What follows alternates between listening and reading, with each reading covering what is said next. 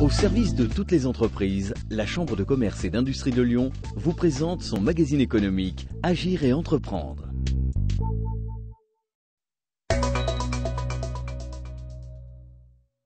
Bonjour à tous et bienvenue dans Agir et Entreprendre pour ce nouveau et dernier numéro, gros plan sur le musée des tissus. Mais tout d'abord, petit détour par la holding Textile Hermès à Pierre-Bénite. Et donc on va faire des alliances de couleurs, alors parfois des alliances naturelles avec des, des camailleux, mais on peut aller dans des alliances plus d'opposition. Une multitude de couleurs pour une multitude de modèles et de possibilités, voilà en résumé le concept Hermès, une marque connue depuis 70 ans pour ses fameux carrés de soie, des carrés pour lesquels sont imaginés une trentaine de nouveaux dessins par an.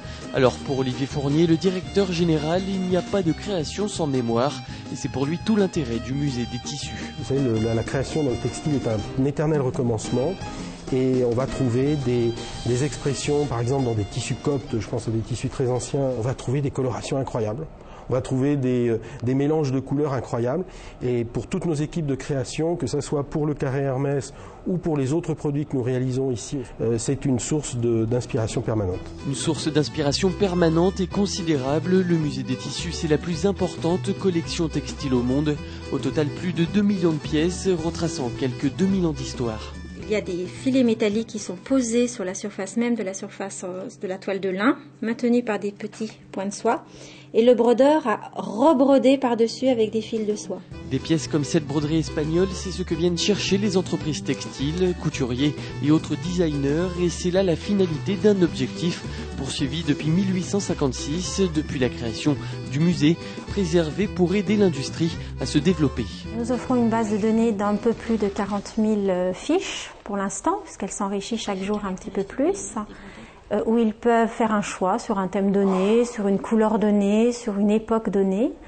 Et ensuite, euh, ils peuvent avoir accès aux œuvres euh, dans la mesure où ils en ont le besoin. Et qui dit collection incomparable dit renommée internationale. Du coup, le musée accueille de nombreux étrangers, un musée notamment très prisé des Asiatiques. Il est très important de faire savoir qu'à Lyon, d'abord, l'industrie des textiles, malgré l'idée commune, existe toujours et prospère et continue à se développer.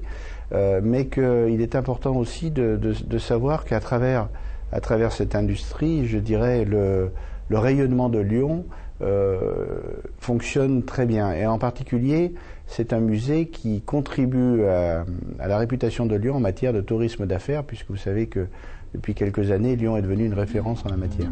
Le musée des tissus, un atout unique de Lyon au service du développement de toute une filière. On termine cette émission avec l'agenda. La CCI de Lyon organise le 11 juillet une réunion d'information sur l'alternance, suivie d'un atelier d'appui à la recherche d'emploi.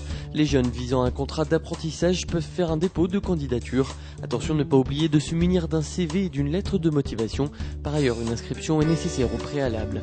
Et puis le 12 juillet, la CCI de Lyon propose des entretiens individuels avec la Chambre de commerce française en Allemagne aux entreprises souhaitant se développer sur le marché allemand. Au cours de ces rendez-vous, les entreprises bénéficieront de conseils pour trouver un agent commercial, un distributeur, pour approcher des clients en direct ou, s'implanter. Voilà, c'est la fin de cette émission. Retrouvez l'agenda complet de la CCI de Lyon sur le site internet www.lyon.cci.fr. D'ici là, bonnes vacances à tous et à la prochaine. Au service de toutes les entreprises, la Chambre de commerce et d'industrie de Lyon vous a présenté son magazine économique Agir et entreprendre.